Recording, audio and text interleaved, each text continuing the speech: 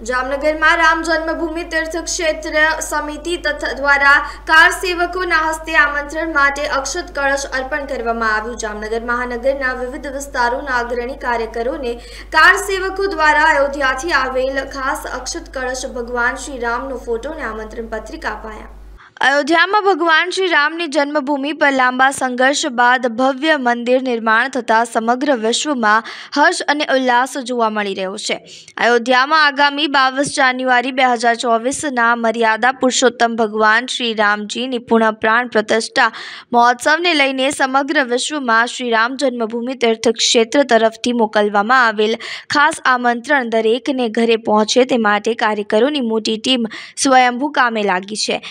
જામનગરના રાષ્ટ્રીય સ્વયંસેવક સંઘ કાર્યાલય ખાતે સોમવારે જામનગર મહાનગરના અગિયાર પ્રખંડોના મુખ્ય કાર્યકરોની અગત્યની બેઠક મળી હતી. આ બેઠક દરમિયાન જામનગર મહાનગરના દરેક શેરી મોહલ્લાઓમાં અયોધ્યામાં ભગવાન રામલલ્લાની જન્મભૂમિ પર પુનઃ પ્રાણ પ્રતિષ્ઠાને લઈને ઉજવણી માટે તૈયારીઓને આખરી ઓપ અપાઈ રહ્યો છે.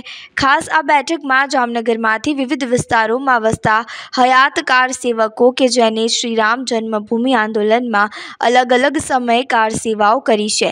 તેવા કાર સેવકો પણ ઉપસ્થિત રહ્યા હતા અને પોતાના સંસ્મરણો વાગોળ્યા હતા. શ્રી રામ જન્મભૂમિ પર મંદિર નિર્માણ બાદ ભગવાન શ્રી રામની પુનઃ પ્રાણ પ્રતિષ્ઠા થઈ રહી છે. ત્યારે આનંદોત્સવ અનુસંધાને કાર સેવકોએ પણ પોતાની ખુશી વ્યક્ત કરી હતી અને આ તકે અયોધ્યાથી આવેલા અક્ષત કળશને અયોધ્યાના ભગવાન રામના ફોટા તેમજ આમંત્રણ પત્રિકા મુખ્ય કાર્યકરોને અર્પણ કરી હતી.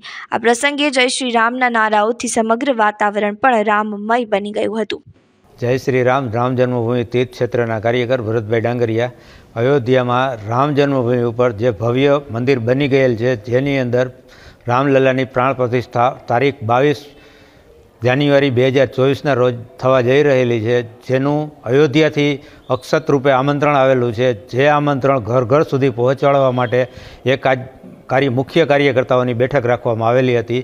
જેની અંદર એક અક્ષતના કળશ છે, રામ ભગવાનનું ચિત્ર છે અને એક પત્રિકા છે, જે વિવિધ એરિયામાંથી વિવિધ એરિયામાંથી અગિયાર કાર સેવકો અહીં ઉપસ્થિત રહેલા હતા. એ કાર સેવકોના હસ્તે કાર્યકરોને આ અર્પણ, આ અક્ષત અર્પણ કરેલા છે અને જામનગરની અંદર આનંદોત્સવ ઉજવવા માટે ઓછામાં ઓછા પચીસોથી ત્રણ હજાર કાર્યકરોની નોંધણી થઈ ગયેલી છે. જે કાર્યકરો લાગશે અને આપના ઘર ઘર સુધી આમંત્રણ પહોંચાડશે.